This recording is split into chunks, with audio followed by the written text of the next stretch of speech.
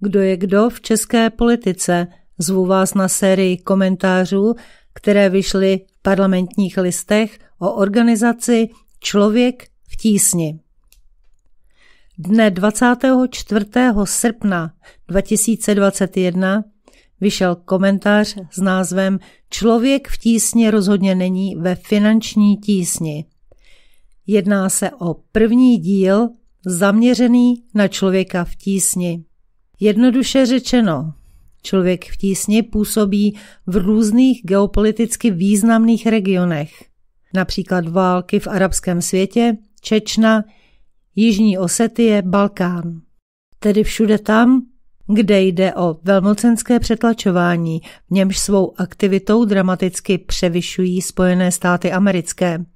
Mapa regionu, kde jsou přítomně lidé z člověka v tísni, je nápadně podobná mapě amerických zájmů ve světě a jejich angažmá je, dá se říci, paralelní a směřuje k témuž cíli.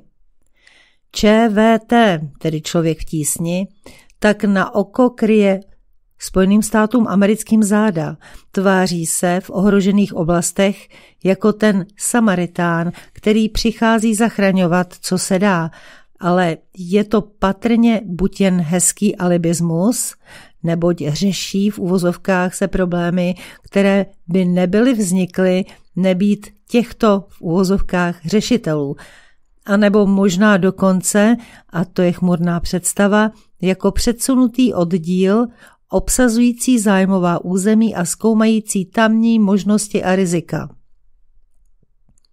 To všechno je jistě činnost značně nákladná, proto stojí za to zalistovat ekonomikou ČVT, dozvíme se leco zajímavého.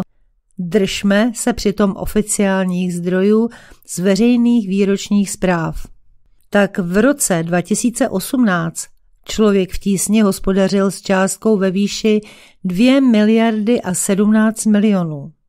Z toho skoro 781 milionů pochází z cizích státních rozpočtů, půl miliardy z fondů Evropské unie.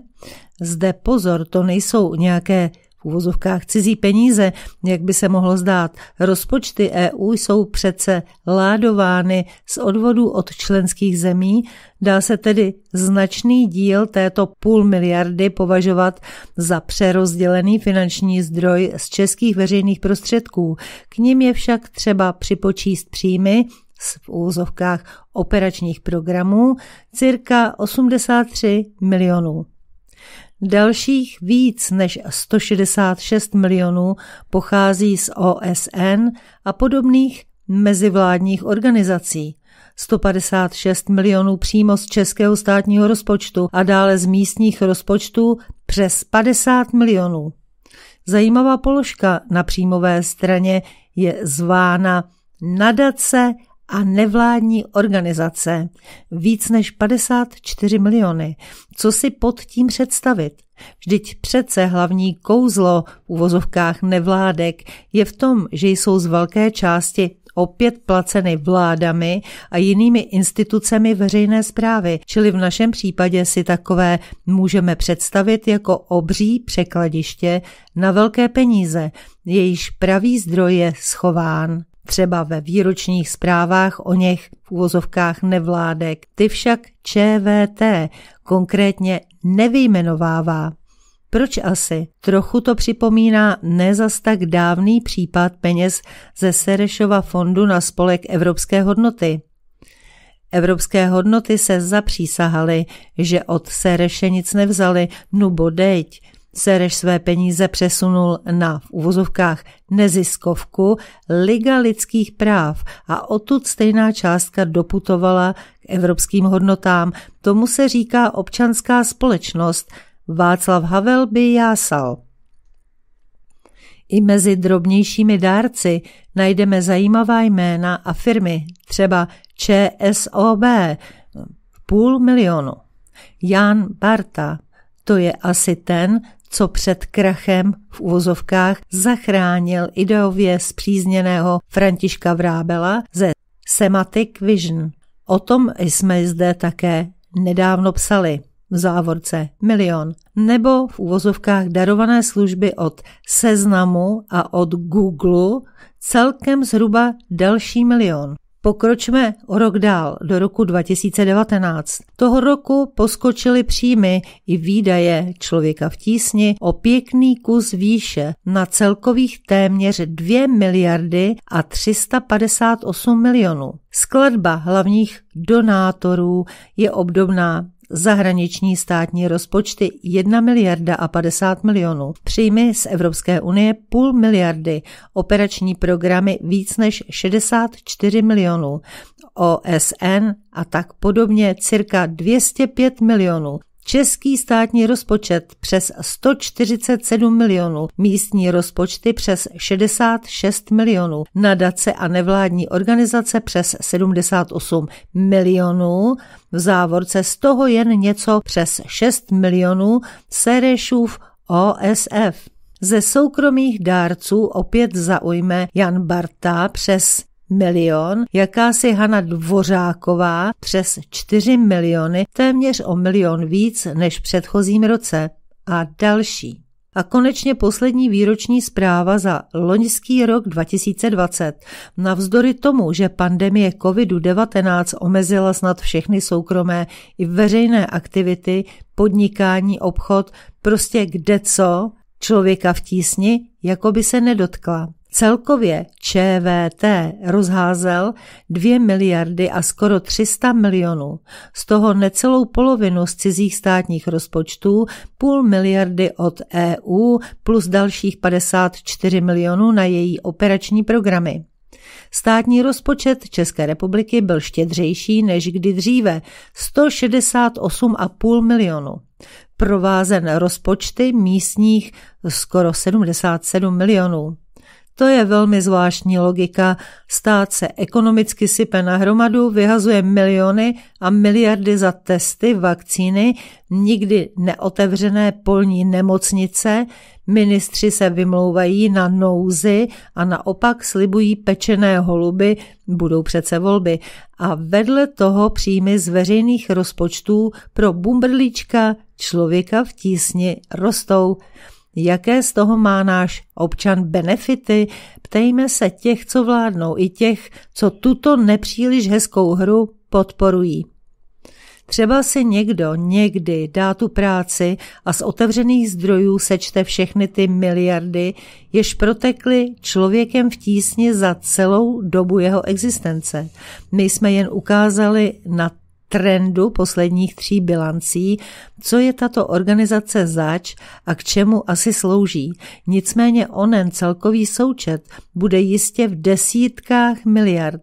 A pak se opět ptejme, kolik by místo všech těch školení, brožur a mediálních výstupů mohlo za ty peníze vyrůst škol a školek, nemocnic a hospiců a třeba útulků pro odložené či zaběhnuté psy protože i takový pes má jasně vymezenou společenskou funkci. Hlídá, pomáhá, těší. Co dělá člověk v tísni? Utrácí po miliardách naše peníze a mentoruje nás, co smíme a nesmíme a pomáhá dehonestovat ty, kteří si byt jen slůvkem dovolí zmínit, že i zde, jako v té pohádce, císař je nahý, tady dokonce snad už i svlečený z kůže. Kdo je kdo v české politice a ne v uvozovkách neziskový bumrlíček a náš budoucí prezident. Vyšlo dne 28.8.2021 na parlamentních listech. Druhý díl, zaměřený na člověka v tísni, když byl před mnoha lety tázán Václav Havel, tehdy ještě hlava státu, koho by viděl nejraději v pozici svého nástupce, on tehdy vyslovil jméno Šimon Pánek, což jak víme a věděli jsme již tehdy, byl a je šéf organizace Člověk v tísni, tedy ČVT, což je starým názvoslovím obecně prospěšná společnost, nově od roku 2014 podle zákona zapsaný ústav, což ČVT ve svých dokumentech poměrně pečlivě ignoruje. Svou činnost začínala v roce 1992 pod názvem Nadace lidových novin. Od roku 1994 fungovala jako nadace Člověk v tísni při české televizi. Pod současným názvem funguje od roku 1999. Ve všech těchto vývojových fázích ji vždy velmi nadšeně tleskal, podporoval a svou autoritou provázel právě Václav Havel. Často to vypadalo, jakože je nepsaným šéfem jakési správní rady ČVT. Ostatně doposud se to jeho jménem v dokumentech a různých veřejných vyjádřeních lidí z ČVT jen hemží. Záhy pochopíme, proč je dobré zmínit právě tuto souvislost. Aktivity ČVT se s neúprosnou pravidelností dotýkají neuralgických geopolitických událostí, konfliktů, humanitárních kataklizmat, způsobených obvykle neskrotnou rozpínavostí neokolonialismu provozovaného nejčastěji spojenými státy, týmyž, které de facto stály za instalací Václava Havla do čela tehdy ještě Československé socialistické republiky, na jejíž ústavu přísahal a udělal od té doby vše, aby nemusel dodržet její literu, neboť šlo o přísahu formální. Jeden by řekl loutkovou. Pokud měli Spojené státy americké Havla v čele vazalské země a tento Havel před sebou strkal mimo jiné i organizace typu ČVT, nemůže nenapadnout souvislost. Nemůžeme proto z posledních let udivit angažmá ČVT na Ukrajině, v Sýrii, Iráku a tak dále. A ovšemže ČVT nemohl chybět v covidových kampaních. Jednou z v uvozovkách divizí ČVT je i Centrum pro lidská práva a demokracii, které podle svých slov pracuje v několika tvrdých diktaturách a také několika zemích, kde se zkušenost s přechodem k demokracii v některých aspektech podobá té české. V současnosti realizuje programy ve východní Evropě, Arménii, Azerbajdžánu, Moldavsku, Podněstří a na Ukrajině. V Latinské Americe je to pak na Kubě, ve Venezuele, v Ekvádoru, Hondurasu a v Nikaraguji, v Egyptě, Líbii a Větnamu. Organizace se údajně věnuje různým aktivitám, jejichž cílem je upozornit na v uvozovkách porušování lidských práv ve světě a najít širší veřejnou a politickou podporu pro jejich ochranu. V této kapitole výroční zprávy najdeme údaje o tom, kde je podle ČVT zapotřebí integrovat do tamního stavu lidských práv. Jsou to především Kazachstán, Uzbekistán, Tádžikistán, Turkmenistán, tedy vesměs bývalé země Sovětského svazu a samozřejmě Ruská federace. Z tohoto pohledu asi nelze nepochopit, že Ruské ministerstvo spravedlnosti zařadilo v listopadu 2019 organizaci Člověk v tísni na seznam organizací, které jsou v Rusku nežádoucí. Z hlediska vlivu na veřejnost jsou velmi významné vzdělávací programy, jako je Jeden svět na školách či migrace, které se zaměřují nejen na studenty a pedagogy českých základních, středních a vysokých škol, ale i na další profesní skupiny, kterými jsou například pracovníci úřadů práce nebo policisté. Podle ČVT jsou uvozovkách témata jako chudoba, globalizace, migrace nebo multikulturalismus těmto skupinám přibližována prostřednictvím krátkodobých či dlouhodobých seminářů a didaktických materiálů, jako jsou příručky nebo sady dokumentárních filmů. Vzdělávací programy jsou realizovány i pomocí dokumentárních filmů spojených s besedami, jako je Jeden člověk na školách, či informačním servisem a metodickou podporou v oblasti interkulturního a globálního rozvoje vzdělávání. Program Migrace spolupracuje s novináři na tom, aby zvětšili rozsah a zlepšili kvalitu zpravodajství o migraci a cizincích v Česku a také zvýšili informovanost veřejnosti a zástupců státní zprávy o problémech, se kterými se migranti ve svém životě v České republice potýkají a které jim stěžují integraci do společnosti. Na kontu ČVT se však postupně schromažďují různé oprávněné věcné výhrady. Například klimatickou ideologii člověka v tísni v článku týdeníku Echo leden 2020 kritizovala redaktorka Lenka Zlámalová za to, že způsobuje u mladých lidí strach z ekologické katastrofy a tím se odchyluje od faktické podstaty k politickému aktivismu. Britské listy v březnu 2009, červnu a říjnu 2010 napsali, že člověk v tísni není jen humanitární, ale především politická organizace řízená současnými i bývalými politiky. Uplatňuje dvojí, v uvozovkách demokratický metr, kterým posuzuje závažnost světových krizí, konfliktů a pošlapávání lidských práv. Velmi konkrétně to zaznělo v souvislosti s konflikty v Kosovu a Jižní Osetii březnu a srpnu 2008. Podle britských listů se organizace Člověk v tísni v některých konfliktech nechovala apoliticky a podporovala jen ty potřebné, kteří jsou v uvozovkách na správné straně barikády, například v kosovském konfliktu podporovala strádající Albánce, ale ne Srby. V konfliktu v Jižní Osety podporovala potřebné Gruzínce, ale ne Osety. V březnu 2005 byla organizace a její představitelé spolu s řadou dalších NGOS a OSN obviněni ruským týdeníkem argumenty i fakta ze soustavné podpory čečenského separatismu a terorismu. V témže roce Rusko organizaci vyhostilo. Stojí za to všimnout si, jak byly rozvrstvené zájmové sféry ve všech uvedených konfliktech, kde měly zájmy Spojené státy a jaké zájmy hájil a prosazoval člověk v tísni. Kdyby vám to nápadně odkud si spoza mysli vnucovalo slovo rezidentura, pak porucha zřejmě nebude na vašem přijímači.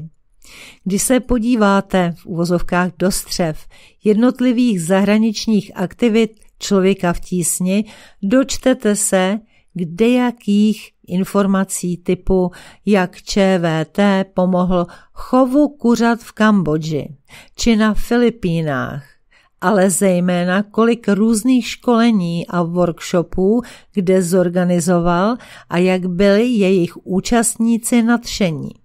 Školení a workshopy to je vůbec velmi častá náplň činnosti, zdráhám se to nazvat prací, celého člověka v tísni. Při pilném pročítání výročních zpráv této podivuhodné organizace, pomalu vytvářející stát ve státě, získáte záhy dojem, že jde hlavně o jakési školící centrum, které má z frekventantů z pravidla velmi účelově vybíraných stvořit následovníky té jedné pravé pravdy o liberální demokracii proti jejím skutečným či jen nakresleným narušitelům. Explicitně se to praví třeba u indokrinačního projektu Jeden svět ve školách, který už léta provozuje politickou agitaci na základních a středních školách s cílem vygumovat z hlav žáků a studentů